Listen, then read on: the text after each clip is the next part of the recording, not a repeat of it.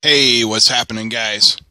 Well, by the time you're watching this video, it will be Holy Saturday or could even be Easter Sunday to you, depending on where you live. So let me just take this opportunity to wish you a happy Easter and let you know there's not going to be a video tomorrow on Easter Sunday.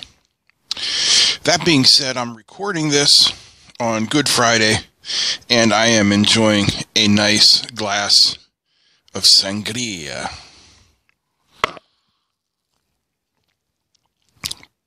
So, what you see here is the transistor circuit we did in the video a few days ago about biasing the transistor. That's a uh, 2N2222 NPN transistor.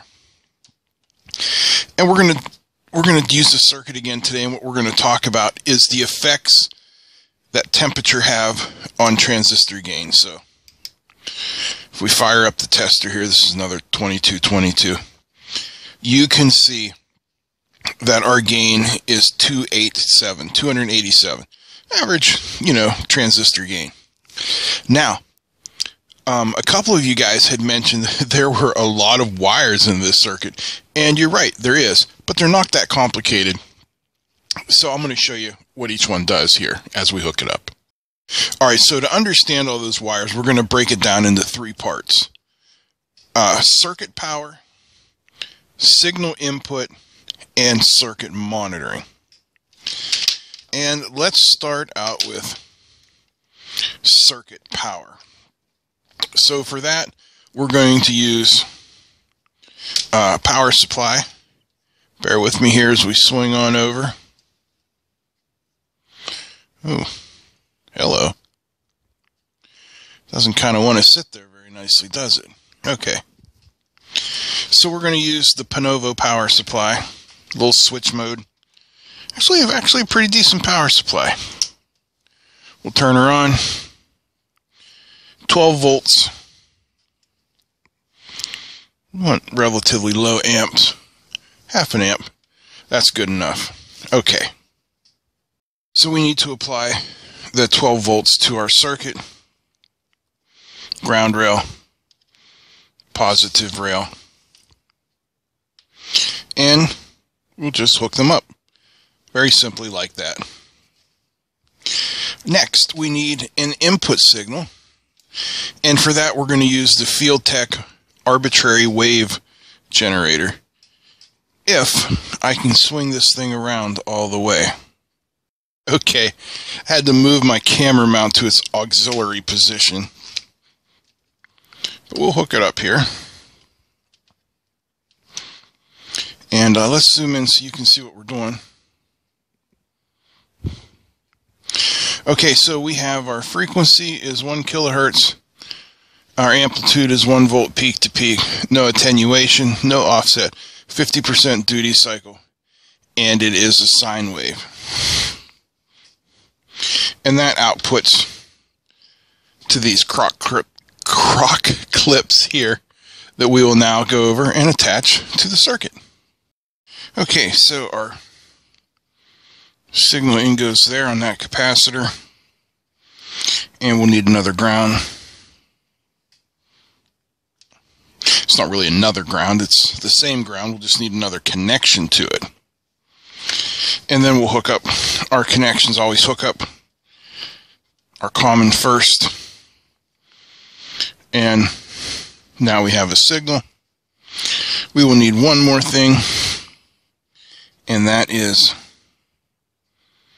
output, which is right there. So now that we have all that set up, we can set up our oscilloscope and do the monitoring. So I'm going to rotate you up here to the Siglent oscilloscope, power that up, and have some sangria.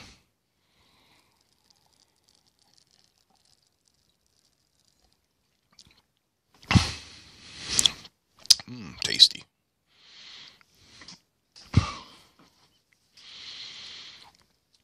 Okay, so we have our two channels here. Our pink is channel 2. And yellow is channel 1. So let's go back to the circuit and hook our probes up. There's yellow channel 1, which will connect to the input side. There's ground. And there's our signal. And if I rotate up here for you guys, there you can see channel 1. Okay, now it's time for channel 2, the pinkish purplish colored lead. Once again, I'm going to hook up our common first,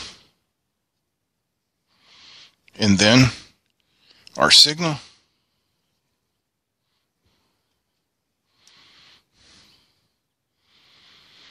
Okay. Then we'll take a look at that on the scope. All right, there we are looking at it at room temperature. It looks a little odd today. We got some sort of uh, inversion going on there. And again, that's one of the reasons I said that this is just not a really practical circuit. You know, it just temperature just plays a huge effect in it. All right, so there's that. Now, what we're going to do here is we're going to take that transistor out of there. We're going to heat it up. And then we're going to retry the circuit. Okie dokie. So there's our 2N2222 out of the circuit.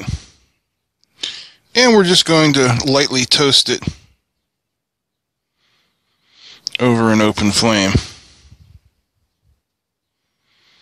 Not for too long. Just want to get it nice and warm.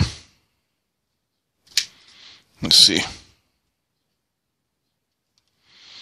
A little bit more. Then we'll start by putting it in the analyzer.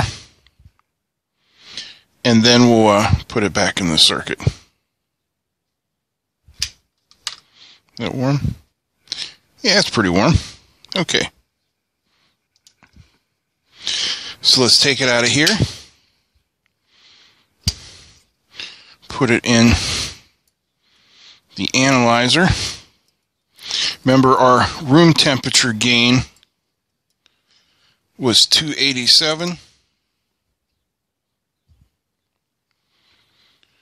Well, that didn't change it much at all. I guess I didn't. Oh, I got it pretty hot. Let me heat it up some more.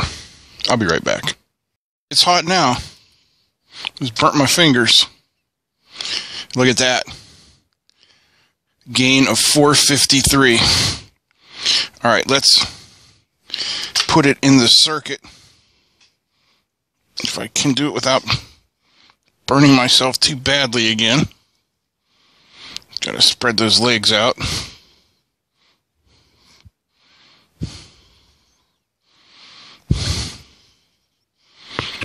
Get in there.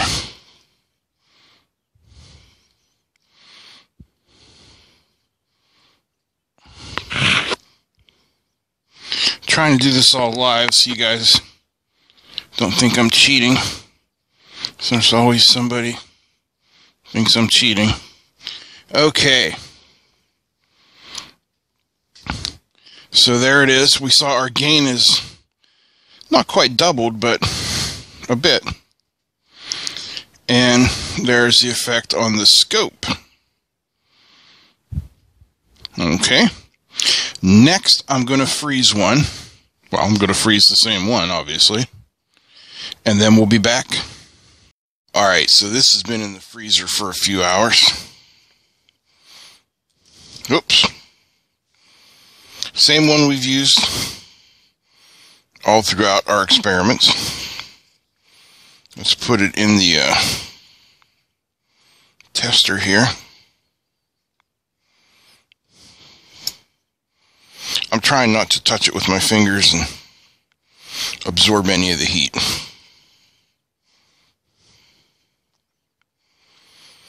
So freezing it really made no difference at all. We'll pop it back in the circuit. And you should be able to see that it looks much like our original circuit.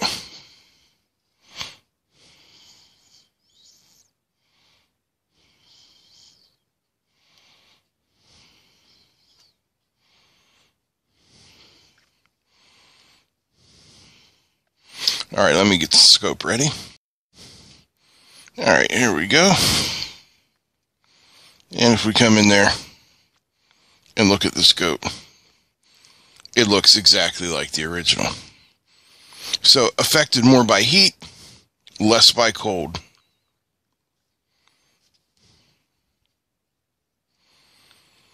And there you can see the effects of temperature